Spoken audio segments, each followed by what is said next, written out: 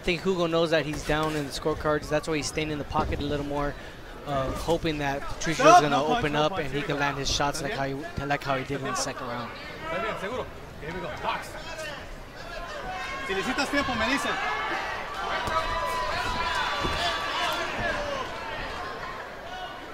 I think Patricio figured out his game plan. To outbox, throw, move, not stay inside the pocket and get hit with unnecessary shots.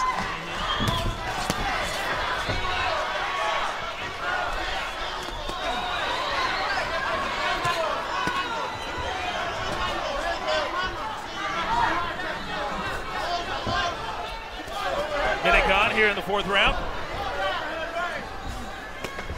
Get off his head, Pat. Big week for Golden Boy Promotions. Week from tonight, Canelo Alvarez.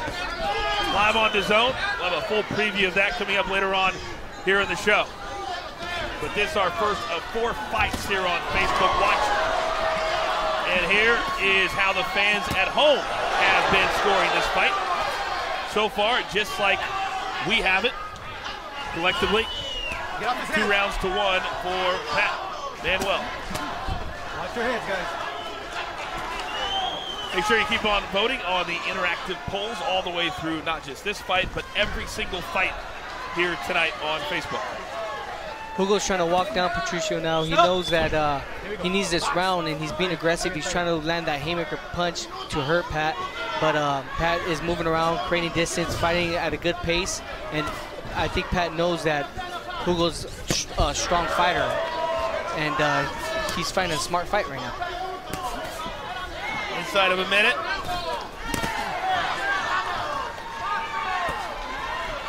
Very entertaining, well-adjusted fight for both. Here, good shots there by Hugo, good combination. This fight is very dangerous. When you get to the last rounds, someone like Hugo, he knows that he has to give it all he got if he wants this fight. He has to go and, and swing with everything he got. And, and Patricio's staying calm and, and watching every single punch that comes, and he sees he sees it coming. 10 15 seconds. Look at the bell. Adelante para nada. Get off his head. Listen for that bell. I would say, guys, that Hugo won that Good. round.